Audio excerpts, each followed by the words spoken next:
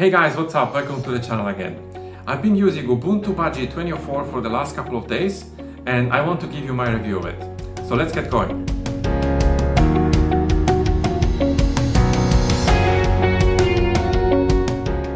There you go, so I downloaded the ISO and I prepared the virtual machine so we can boot up now the system by hitting enter here.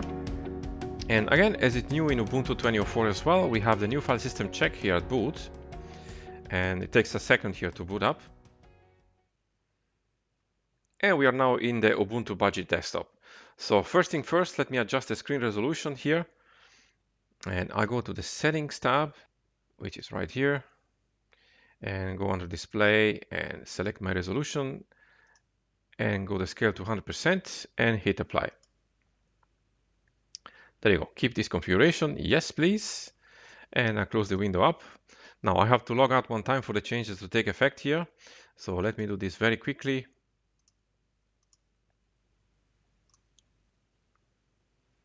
And here we go.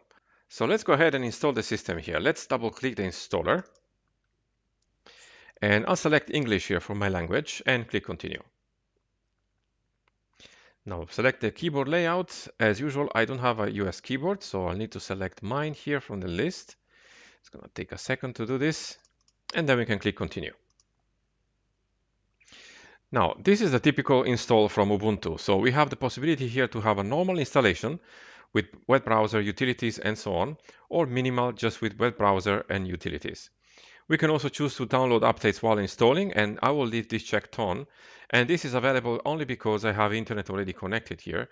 If you have Wi-Fi, you can go here to the network icon and you will see your network here. You can select it, enter your password and you'll be able to do this as well. And we have also the option here to install third-party software for graphics and Wi-Fi. So if you have an NVIDIA card, for example, I definitely recommend you to do this as the drivers comes directly now into the ISO. And then we can click continue. So here we can choose what kind of installation type we want to do. So we can erase the disk here and install Ubuntu Budgie. And if we click on advanced features, we can also use LVM and we could also encrypt the volume if we needed to. And we have also experimental support here for the ZFS file system. And then we can create a different partitioning type by clicking something else and click continue. So here we can create a new partition table and partition the disk how we want to. So let's go back here shortly. So if you just want to install Ubuntu Budgie very quickly and you don't have any problem erasing your disk, go ahead and select the first option. Here is the easiest one. In my case, I'm just going to go with something else this time and click continue. So I have only one disk in my system, which is the one right here. And now I need to click on new partition table. And yes, I want to create a partition table for the whole disk, so I'll just click continue. Now we have our partition here with the free disk, so I'll just click it and then click on the plus here to create the first partition. Now I want to create first the EFI partition because we need one. This is a UEFI system and I want to give this partition 200 megabytes. So I'll type in here 200 and I'll leave this as default and I use as a file system here EFI system partition and then click OK. Now we have two free spaces partitions here. The first one is one megabyte and this is an alignment partition so we can let this alone. So what we need to do now is to select the second one here, which is going to be our root partition. So let's click the plus again. And I leave this as a default and these options as well. And I want to use the ext4 file system type here, but we could go ahead here and install also a Btrfs file system, for example, or any other file system we want. But I'm going to go with the ext4. And for the mount point here, I'm going to choose the root directory. So I'm going to select the slash here and click OK. So we have now our new partition here. So we made the partitions. Now we can click install now. And it's going to show us the summary of the changes to the disk. By the way, these are the same changes that the automatic partitioning does. And then we can click continue. So now we can select our time zone here. And in my case, it's correct because I have an internet connection already. So I can click continue. Now let's create the new user. So I'll type in my full name here. And I'll call my computer Ubuntu Budgie. Username is fine, and I'll pick my password and retype it. Now I want to require my password to log in, so I'll let this checked on and click continue. So now we basically have to wait until the system finishes installing and I'll be back when it's done.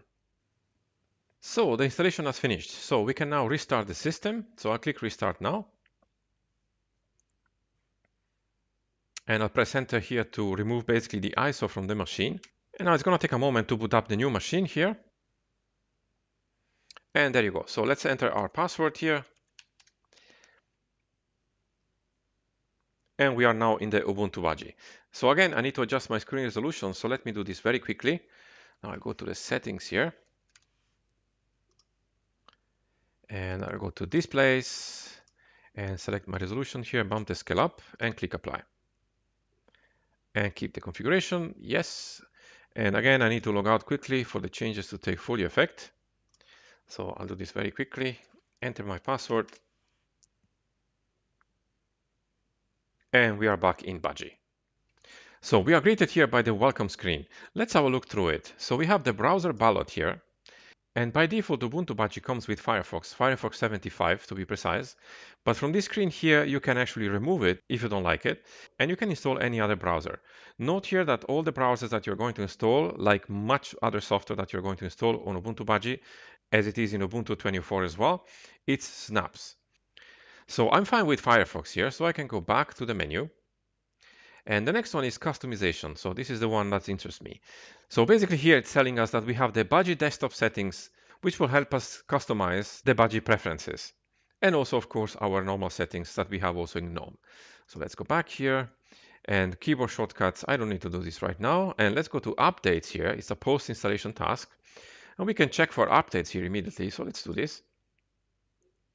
And the software updater pops up. And I'll go ahead and update the system now and it's going to take a moment to do this. So I'll go back here to the window. And we have also the possibility to install some restricted extra repositories. So this basically includes some non-free media formats like DVDs, MP3, QuickTime, and so on. And it's left optional because Ubuntu, of course, it's based on free software. So if you need those things, you can go ahead here and install the repositories and you'll have them available to you. So let's go back to the menu here. Another thing we can check on is drivers. Well, in my case, I'm on a virtual machine, so there's nothing I can do here. However, if you click on additional drivers here, you will see which hardware might need your attention installing proprietary drivers. So definitely an option to explore. So let's go back. We have also options here for language and inputs and some optional tasks here, which I'm going to skip. So I'm going to close this window up. And the software now has been already updated, so I can click OK. So the Budgie desktop, as you know, was developed by Solus, which offers also its own distribution, which is the Solus distribution. And it's a modern spin on the user interface. Budgie is based on GNOME, but it refines the user interface to make it a little bit more modern. So one thing which I'd like to show you, and it's new in Ubuntu Budgie 20.04, is the theme and layout options. So we can go to the settings here, and I'll type in layouts. And you see here we have a Budgie themes and layouts. So let's click this and I will increase the window size a little bit so that it's easier to see. There you go. So what we have here, we have the switch appearance and the desktop layout tab, which actually is new in Ubuntu Budgie 2004. So in the switch appearance here, you can basically change the theme of your system. So for example, if you like the arc design, we can click, for example, here, apply makeover.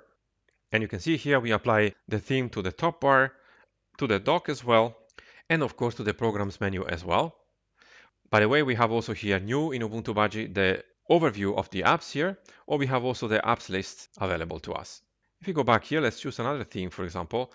For example, this material design here, it's not installed by default, but we could install it by clicking install. This will install everything and the icons as well, by the way. And we have many other themes here we can try. So I'm going to go back here shortly. There you go. And let's go back on the top here and change to desktop layout. So for example, right now we have Ubuntu Budgie, which is the standard one, but we can go, for example, to classic Ubuntu Budgie, or we can also go to Redmond, which is going to be more like Windows, or we can go also to traditional Budgie, which is going to be more like Solus. So if we click here, apply layout, we have the top bar here comes on the bottom, and we have more a traditional look for Budgie here, which resemble the Solus distribution. We have, of course, also our Raven panel here on the right side available to us.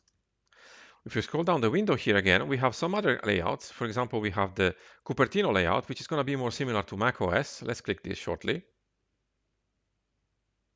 And you can see here we have the dock on the bottom, and we have also the menus on the top left here. So if we're going to open up a program, for example, let's open up here the calculator. We see we have the calculator menu here on top, exactly like it is in macOS.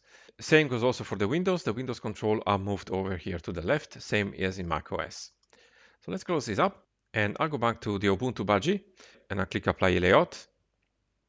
Now let's close this up here and let's go to the desktop Budgie settings. So I'll type in here Budgie settings and here we have Budgie desktop settings.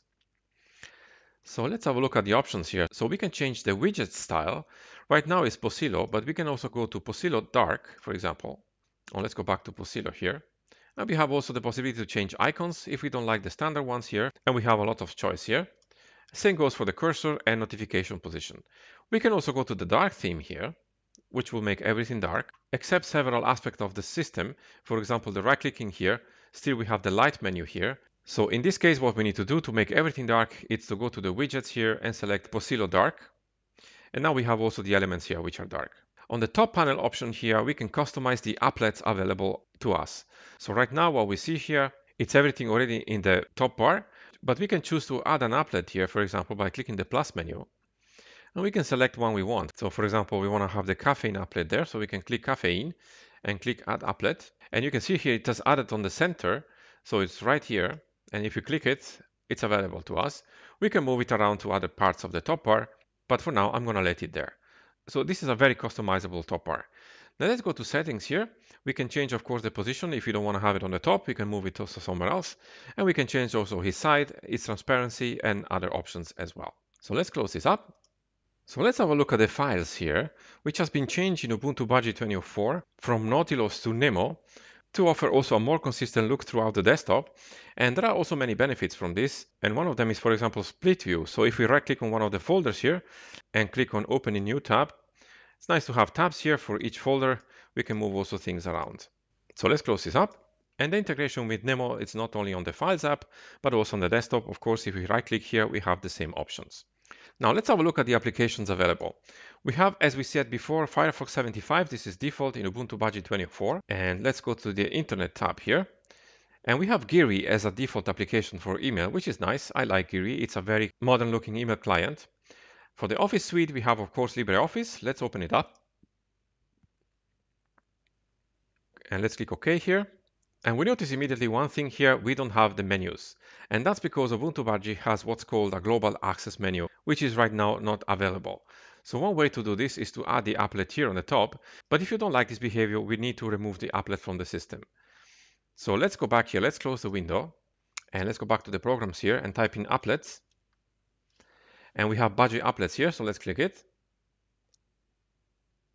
And we need to scroll down here until we find the global menu applet. And there you go. So we can click remove. It's going to take a moment to do this.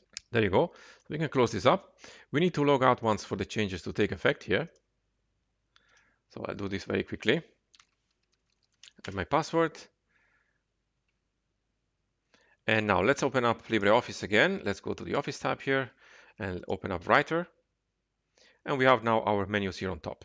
So let's check the version here. We go to About LibreOffice and version is 6422. This is the same version available also in Ubuntu 24. So let's close this up and close LibreOffice. So we have several accessories here for our disk, the calculator, and we have also the preferences for the dock, which is called Plank in Ubuntu Budgie. We have a few games as well already installed, and for the graphics we have of course LibreOffice Draw, and we have also GThumb Image Viewer as a default image viewer here. We saw already the Internet tab here, we have Geary and Firefox, we have also already installed Transmission for BitTorrents, we have LibreOffice for our Office suite, and we have also some other tools available in the system here. So let's go to the utilities here shortly. And let's go down to the terminal, which is Tilix in Ubuntu Budgie. So with Tilix is nice, you can split the terminal very quickly here by clicking these buttons. So for example, we can add a terminal here to the right by clicking this, one on the bottom by clicking this. So it's very customizable and very fast. Let me enlarge this window here. So let me delete these two terminal up first. And let's type in uname dash R and hit enter. We have the kernel 5.4. This is standard in Ubuntu 24 as well. Let's check for updates one more time. sudo apt update hit enter. Enter our sudo password. And let's see if there is any upgrade here by replacing update with upgrade. There are no new packages here, but there are some packages which need to be removed as they are not anymore used. And we can do this by typing in sudo apt auto remove hit enter. And go ahead to do this. And the packages not needed are now removed. So of course, another thing we can do here is to check the software center. So let's go back here and type software and hit the software center here. This is the standard software center that comes with Ubuntu and GNOME as well. So let's go to shopping and we have all applications available here. So we should have also Spotify available to us, for example, if you want to have that. There you go. And we can explore here, of course, many other software that we might need. And many of those will be, as we saw before, snaps. So for example, if you go to Opera here, so if you scroll down here, we can see this is a snap and it's going to be installed as one, like most of the applications here in the software center. So let's close this up. So Ubuntu Budgie 2004, it's a very nice distribution. I really like the Budgie desktop environment. It feels very modern. It's based on GNOME 3.36.1, so it offers better performance. And I really enjoy to use the Budgie desktop. It's very customizable and it has a very solid base, which is Ubuntu 24 on an LTS kernel. So if you like the Budgie desktop environment, definitely give it a try and let me know what you think about it. So there you go, this is my take of Ubuntu Budgie 2004. I have to say I really like the Budgie desktop environment. It's really fast and snappy and it's really customizable. As I said before in the video, the Budgie desktop environment is developed by Solus, which also offers its own Linux distribution. But I really like Ubuntu Budgie because it offers the Budgie desktop environment's its modern look with a solid foundation of Ubuntu 24. So if you like the Budgie desktop environment, definitely give it a try and let me know what you think about it. I hope you liked the video guys. If you did, please hit the like button below and subscribe to the channel if you haven't already. Subs always helps us out. And if you want to support the channel, you can visit our Patreon website or you can also donate to the channel through PayPal via the website as well. Thank you so much for watching the video and I'll see you in the next one.